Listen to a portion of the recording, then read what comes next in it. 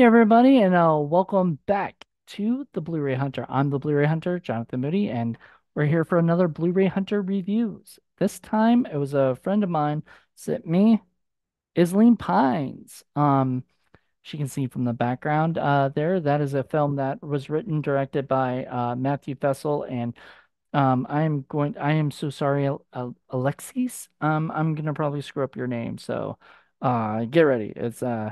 I'm gonna guess it's Alexis Paonessa? Paonessa? I oh sorry. I'm really bad at names. Um I if I know it, I know it. Like if I hear somebody say it, I can I can get it, but uh sorry. Um anyway, um Alexis and uh Matthew and directed this film. It's about a bunch of it's about this town of Isleen Pines that has a uh I guess this annual celebration for um what is it um like a costume contest for Halloween run by this guy who's just like a hobo clown kind of thing character. Um and uh everybody doesn't have like real names like they're the witch or the vampire or the uh clown or whatever whatever costume that they are they're kind of named after that.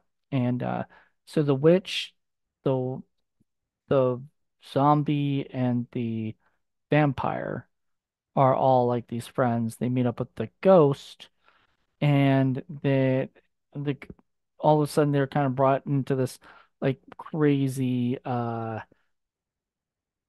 was it uh alien life form that that emerges and starts to wreak havoc in the town? And um Glenn Plummer's in the movie and man does he steal the steal the movie. There's some really great scenes with him uh in it where he's like a neighbor who uh you know he's at one point this old older gentleman trick or treats at his house and he's just like dude I don't want to talk to you. So the whole time he's just pretty much like blowing the guy off and it's probably one of the best scenes in the movie. Um there's another really uh there's some really really great scenes involving some of the like some of the dialogue just seemed really you know funny. Um I I love the clown you know character just he he uh he's the host to the party except there's this guy saying he's the co-host and he's a the magician uh character like a you know costume and stuff. And the guy's like charging five bucks to see the magician, see him do magic. Uh, there's some other stuff. Um, all in all, uh, the special ma makeup effects was great. Uh, I don't think there was any CGI, if I'm correct. Um, it all seemed practical. Uh, so that was pretty cool. Um, I liked, uh, you know, I, I liked all the characters.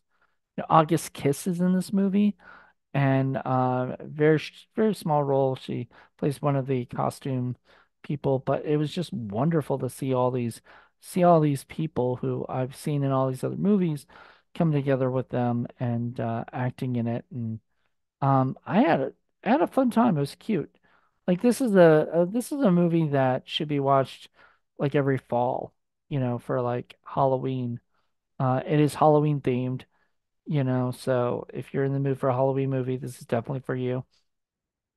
Um, I I absolutely loved um just the direction that I went into, the way that it was set up. Uh, it it had a lot of fun, like they were enjoying themselves, everybody. Um, it the the the thing like the the the monster, the uh alien monster looked a lot like Predator in a way to me, like like a hillbilly predator maybe, kind of thing, and it looked kind of kind of funny. Uh, but I I loved it. Like I thought it it was scary. Um, not something I would have wanted to fuck with. Um, and I liked how uh the witch, which is this cool girl in it, and The only the only thing I didn't like, I, I got a little confused by the ending, a little bit. Um, like I, I like I wasn't sure if this was like a premonition or if it was like a um or if it was by some chance like just all a dream. Um, not sure, but uh yeah. Uh it, it it confused me a little bit. The ending was a little bit confusing. But um aside from that, you know, part and everything. Um, like pretty much the end end where I guess it was the twist, but it still kind of confused me a little bit. Um, so I was like, all right, um, are we like what's going on here? Um, but aside from that, like everything else, like straight up made me crack up. I was laughing at times when I'm supposed to laugh. Not like some some films you see these days and you're laughing when you're not supposed to be laughing. Um, and uh, I think all the characters were a lot of fun.